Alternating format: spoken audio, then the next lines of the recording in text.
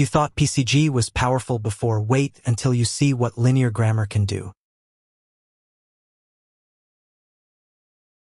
Hello everyone. In this episode, we're diving into the linear grammar tool in Unreal Engine 5.7. Personally, I think this tool is extremely useful and can speed up a lot of workflow steps. When you activate the tool and begin drawing on your level, you can sketch out a line just like the Draw Spline tool, and PCG will automatically generate points along it. But the real power appears in the grammar section. Once you enable grammar, you can start defining rules and even replace the default gizmos with your own mesh. For example, let's open the default PCG window setup. As you can see, the symbol is represented with the letter A, and the rule uses a asterisk, meaning PCG will repeat the symbol along the length of the spline. Now let's delete the asterisk, asterisk symbol, to see what happens. Without repetition, PCG places one single mesh, stretched across the entire spline. If your spline is long, the mesh deforms and stretches. If it's short, the deformation is smaller. If you don't want your mesh to stretch, Simply disable Scalable. This keeps your mesh at its original size. The next option is Size, but since we haven't enabled repetition yet, it won't affect anything, though you'll see how important it becomes later. Forward axis lets you rotate your object along different orientations to match the spline direction. And with local offset, you can reposition the mesh in any direction. In this case, I'm raising the window mesh on the z-axis so it sits correctly on the surface.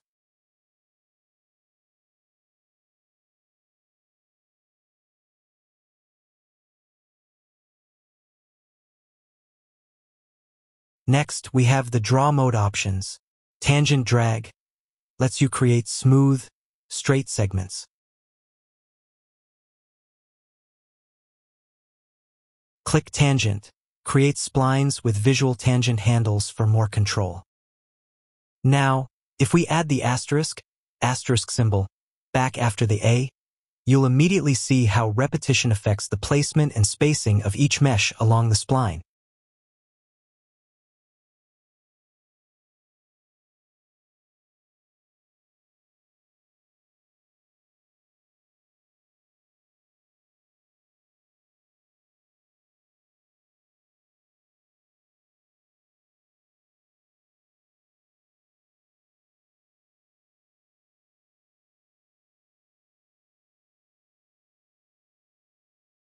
Alright everyone, now we want to dive deeper into the main topic, grammar.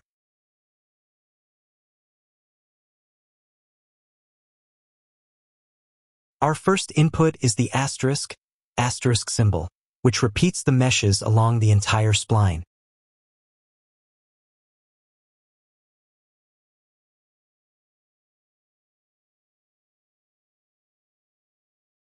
Now imagine we have a second piece of data and we want its symbol to be set to B.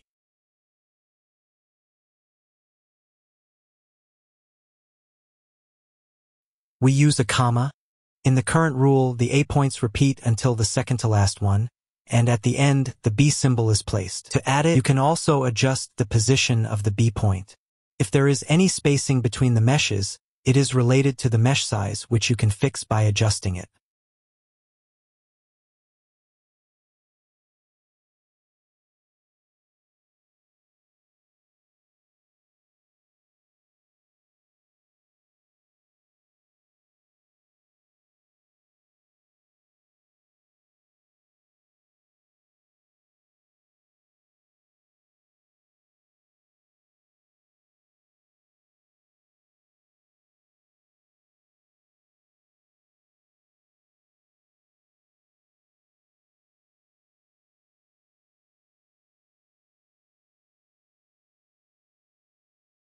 Let's work more on our rules.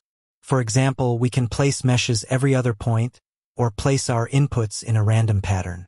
With a bit of imagination, you can imagine that instead of these walls, we have buildings, and in this way we can replace them and get variation. In the end of the video, we will have an example like this.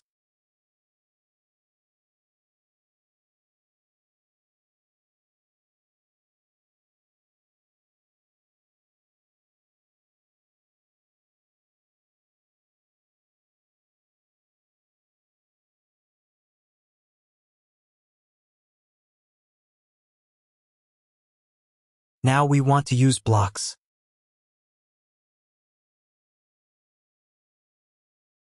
For example, if we place a star after B, it will only repeat B.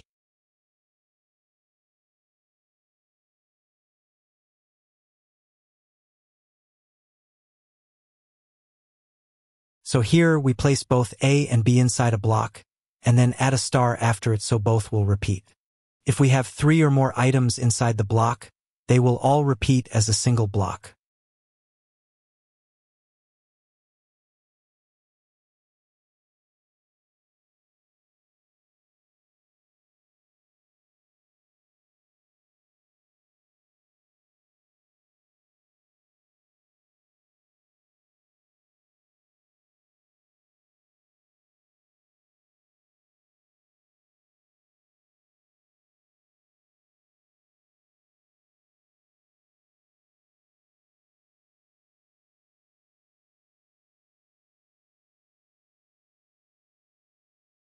If we want it to repeat a specific number of times, we use a number after it.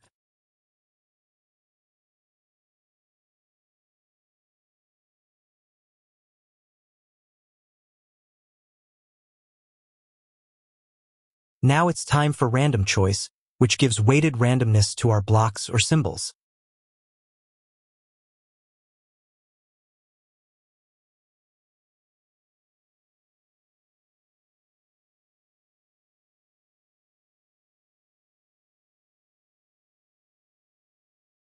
To do this, we use curly braces. Then we type our block and assign it a weight using a number. To understand this better, we need to create more inputs.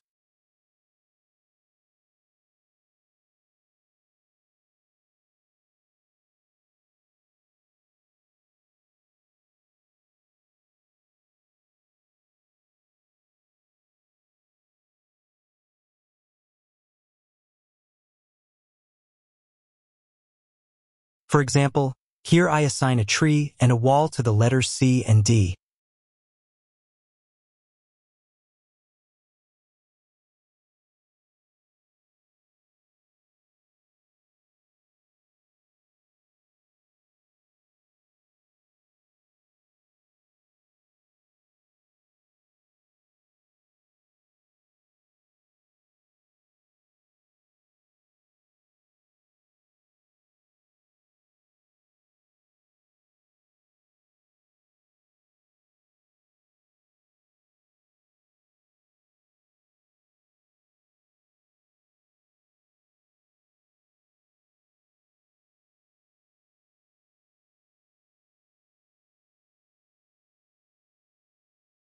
and after the first number I create another block and set its weight to 1.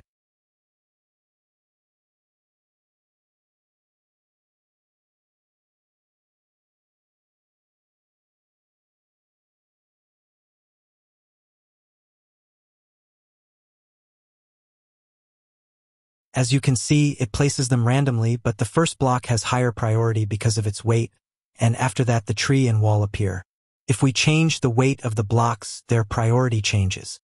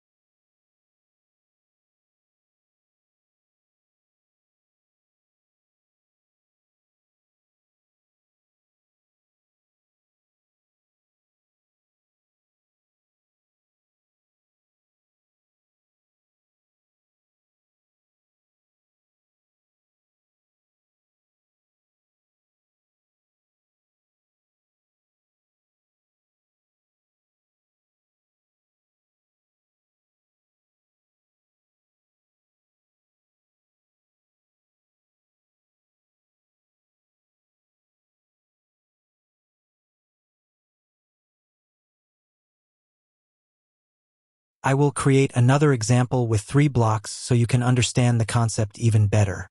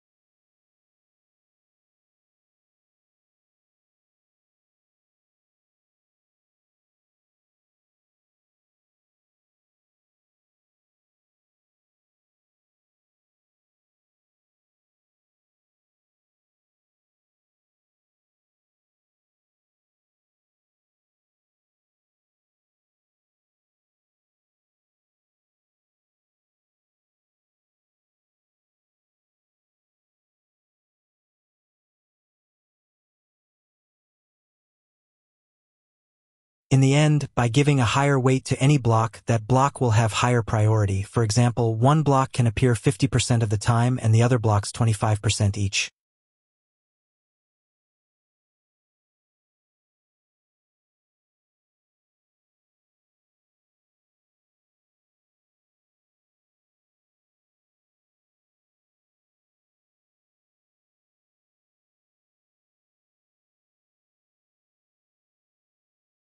Now we want to create a practical project using what we've learned. I've imported six buildings into Unreal, and using the grammar tool we're going to place them along a straight line like city buildings next to each other. Throughout the process, by using commas, asterisks, blocks, and making adjustments to the buildings, we'll reach our desired result.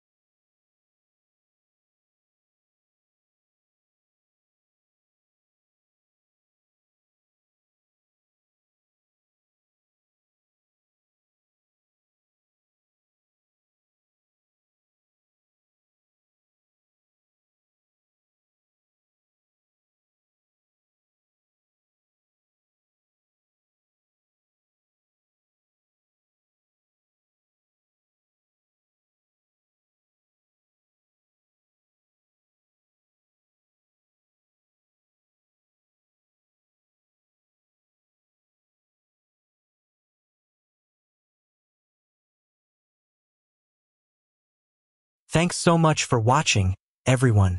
If you enjoyed this breakdown of the grammar tool, don't forget to smash that like button, drop a comment, and subscribe for more Unreal Engine tips and PCG deep dives. Your support means the world. See you in the next one.